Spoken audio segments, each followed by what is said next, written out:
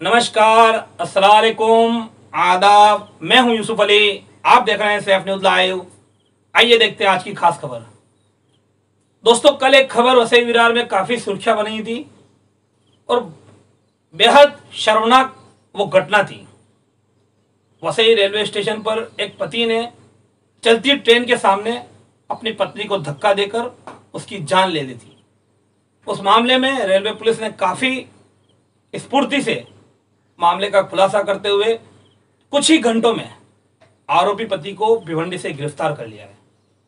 दरअसल मामला हुआ था कल सुबह बाईस तारीख सुबह चार बजे का था, जब पत्नी सोई हुई थी और उसको उठाकर पति ने मुंबई की तरफ़ से आने वाली अवैध एक्सप्रेस के सामने धकेल दिया था और पत्नी की जगह पर ही मौत हो गई थी। पति अपने दो बच्चों को लेकर भाग गया था।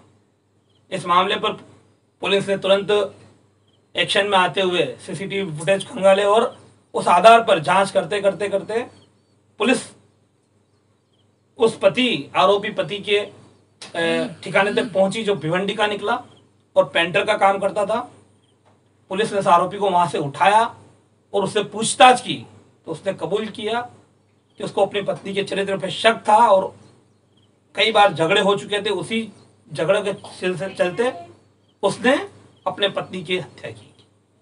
तो कहीं ना कहीं वसई रेलवे पुलिस ने इस मामले का खुलासा करके एक अच्छी का, कामगिरी की है।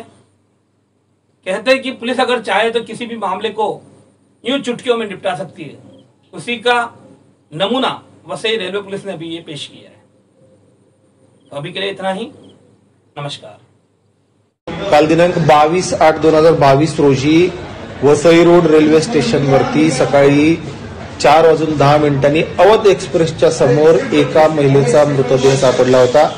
सदर महिलेला तिच्या पतीनं रेल्वे समोर टाकून तिचा मर्डर केला होता. मुंबई जीआरपीनं ही केस सॉल्व्ह केली आणि आरोपीला भिवंडी या ठिकाणाहून अटक केलेला आहे.